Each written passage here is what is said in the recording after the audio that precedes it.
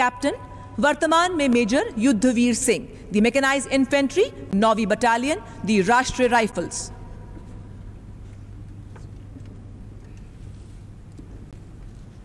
11 April 2022 को captain Yudhvir Singh को जम्मू और कश्मीर के कुलगांव ज़िले में एक वाहन में आतंकवादी गतिविधि के विषय में जानकारी के आधार पर एक गुप्त निगरानी और अवरोधक दस्ते का नेतृत्व करने की ज़िम्मेदारी दी गई।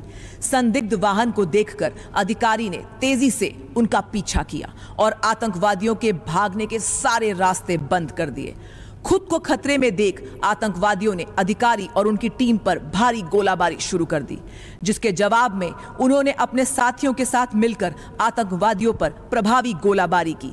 त्वरित जवाबी कार्रवाई ने आतंकवादियों के पास से एक घर में छिपने को मजबूर किया। तभी शूरवीर अधिकारी ने अपनी टीम को कड़ी घेराबंदी का आदेश दिया। परंतु आतंकवादियों ने उन पर हथगोले फेंके और भारी गोलाबारी शुरू कर दी। इसी बीच वे रेंगते हुए एक कट्टर आतंकवादी के समीप पहुँचे और उसे मार गिराया। मेजर युद्धवीर सिंह